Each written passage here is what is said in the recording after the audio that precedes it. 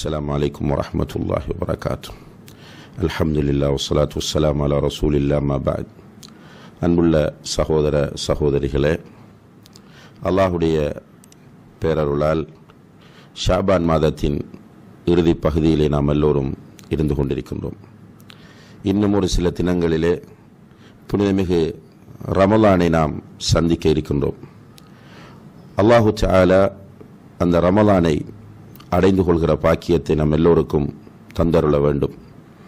அன்புள்ள சகோதர சகோதரிகளே உண்மையிலே இன்று நாம் இருக்கிற நிலை நம்மிடத்தில் மிகப்பெரிய ஒரு ஆன்மீக வறுமை இருப்பதை நமக்கு உணர்த்துகிறது.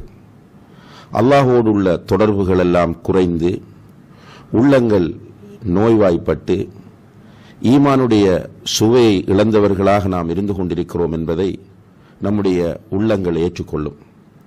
ஒரு மூமினை பொறுத்தவரையில் அவனுடைய ஈமான் உயர்ந்த நிலையில் இருக்க வேண்டும் என்று அவன் ஆசைப்பட்டு கொண்டிருக்க வேண்டும். உள்ளத்தில் தக்குவாதான் மிக பிரதானமான அம்சமாக இருந்து கொண்டிருக்கிறது. இந்த தக்குவா உள்ளத்தில் சரியான முறையில் கட்டி எழுப்பப்படும் போது நம்முடைய உள்ளங்களில் வரக்கூடிய இந்த ஆன்மீக வறுமை தானாக போய்விடும். நம்முடைய உள்ளங்களிலே தக்குவாவை வளர்ப்பதற்காக வேண்டி அல்லாஹு சாலா அவ்வப்போது நமக்கு அரிய வாய்ப்புகளை தருகிறான். அவ்வாறான ஒரு அருமையான வாய்ப்பு தான் புனிதமிகு ரமலான் மாதமாகும்.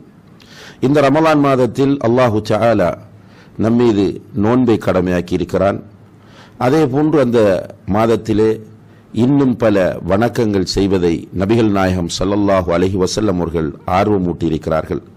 இந்த மாதத்தில் நாம் நோன்பு நோற்று அதில் செய்யப்பட வேண்டிய வணக்கங்களை அதிகமாக செய்யும்போது நம்முடைய உள்ளங்களில் இருக்கக்கூடிய கரைகள் நீங்கி நம்முடைய தக்குவா வளர்ந்து நாம் ஆன்மீக அந்த வறுமை போனவர்களாக உயிரோட்டம் மிக்க மனிதர்களாக மாற முடியும்.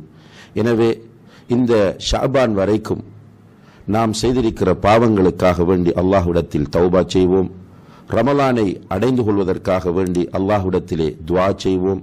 ரமலானை நல்ல முறையிலே பயன்படுத்துவதற்கு இப்போதிருந்தே திட்டமிடுவோம். எல்லாம் வல்ல அல்லாஹு சாலா அதற்கு நம் அனைவருக்கும் தௌஃபிக் செய்வானாக. வஸ்ஸலாமு அலைக்கும் வரஹ்மத்துல்லாஹி வபரகாத்து